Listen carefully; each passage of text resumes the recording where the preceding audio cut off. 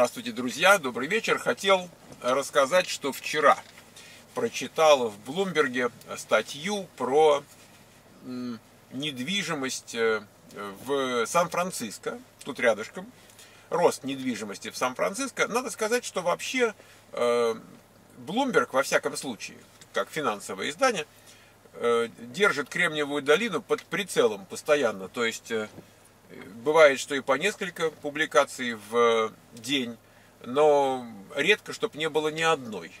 Ну вот тема, например, стоимости недвижимости, э, тема того, что вот недоступна недвижимость там простому человеку и так далее, это присутствует. Одна из тем. Но тут опубликовали результаты по росту цен на недвижимость, ну по ценам на недвижимость, за первый квартал.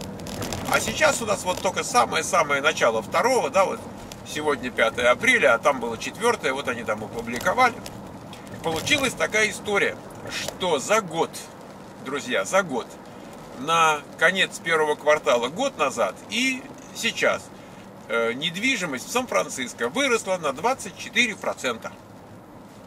На 24% и э, медианная стоимость, вы знаете, что такое медиан, да, то есть я на всякий случай скажу, это никогда, как, не как средняя арифметическая, когда сложили и поделили, а когда ты проводишь линию, и вот э, справа 50% осталось, и слева 50% осталось. То есть э, медианная цена миллион шестьсот тысяч сейчас в Сан-Франциско. Это значит, что из того, что продавалось, э, половина, ровно, ровно половина продалась дороже, миллиона шестьсот тысяч, а еще ровно половина меньше 600 тысяч. Хотя, может быть, там ничего не продавалось меньше миллиона при этом. То есть это как бы тоже возможно. Так вот, 24% эм, за год э, по сравнению с э, предыдущим кварталом, то есть по сравнению с четвертым кварталом 2017 э, года, эм, выросла это самая медианная, выросла на 100 тысяч. Значит, Э, то есть было миллион пятьсот, а стало миллион шестьсот. Ну, это немножко больше там, да, 6%, там, где-то, ну, скажем, шесть с половиной, вот туда, может быть, ближе к 7, за квартал. Что, собственно, в общем-то, да, так если э, сложить там 4 раза, будет очень похоже на вот те 24%, хотя мы понимаем, что там немножко сложнее считается, но вот просто так, так вышло.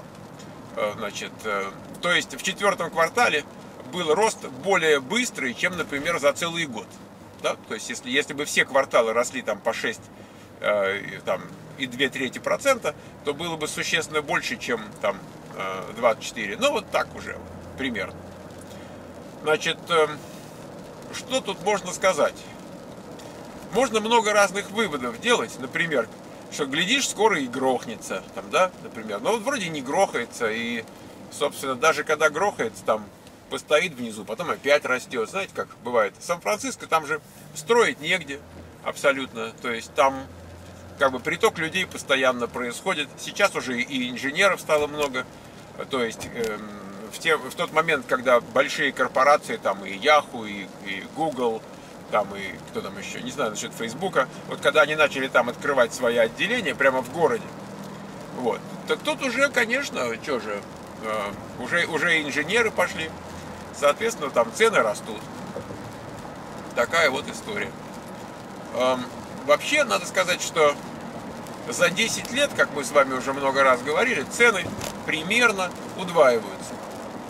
Э, конечно, важно попасть вот в правильные 10 лет, да, то может так получиться, что вот, допустим, за 5 лет цены удвоились. За 5, вот, вот, вот буквально 5 последних.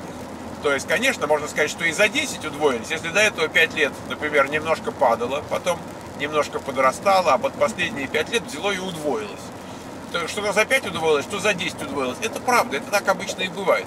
Ну вот в среднем, вот если так посмотреть, за 10 лет удваивается. Значит, если, например, дом был куплен э, 5 лет назад, 5, кстати, 5 лет назад человек купил дом, например, за миллион долларов. Он теперь стоит 2 миллиона.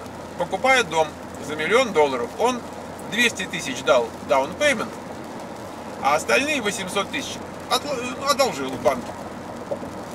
Сейчас у него этот дом стоит 2 миллиона. Таким образом, с инвестицией в, 2, в 200 тысяч он имеет сейчас собственности на 2 миллиона. В общем, такая интересная штука. Ну, безусловно, там не, не так все это простенько, да, то есть он все-таки банку еще должен. Да.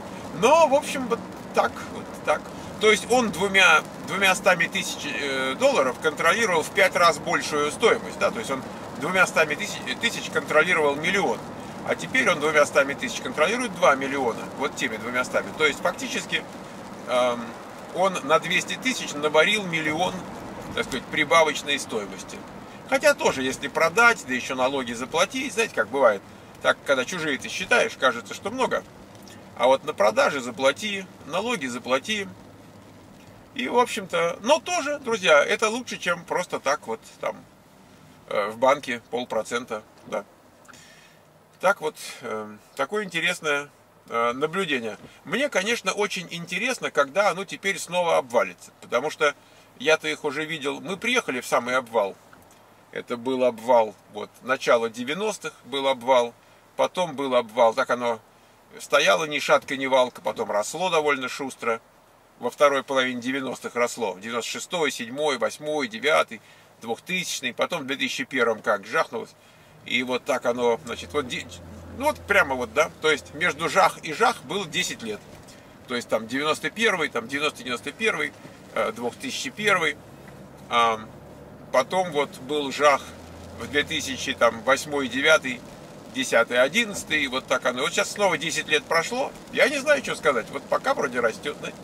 А так, по сравнению с 2008-2009, вот где-то, значит, ну, не, не то чтобы это как бы четкая такая периодичность, но в общем-то ни, никто не знает. У нас вообще такая экономика сейчас, э, э, то есть она никогда не была уж прямо так уж прям предсказуемой, а с, с учетом того, что там боцман наверху, который там пару твитов написал, там э, акции Амазона упали на 35 миллиардов долларов, понимаете?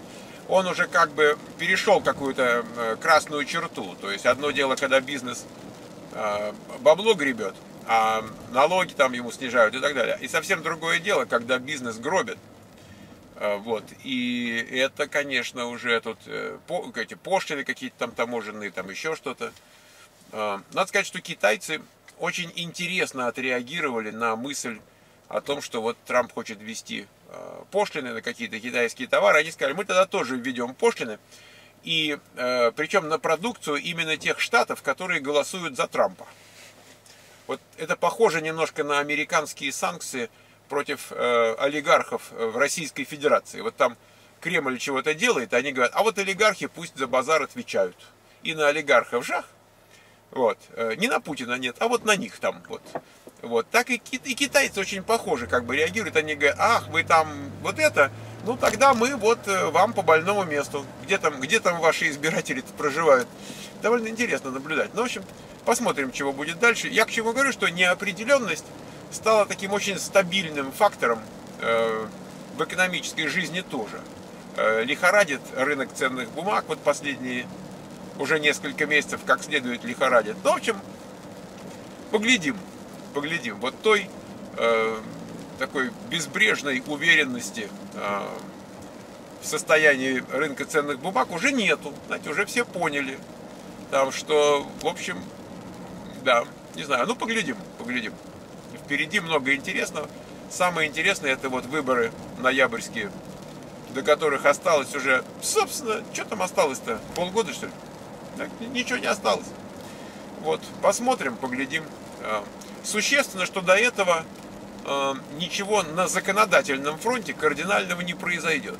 Хотя администрация может чудить, конечно, по-всякому, начиная от какой-нибудь войны э, и кончая какими-то административными там указами. Ну, поживем, увидим. А пока что, друзья, за год э, недвижимость в Сан-Франциско подорожала на 24%, и за один квартал подорожала на 6 там, и 2 третьих. Вот такая интересная статистика. Счастливо!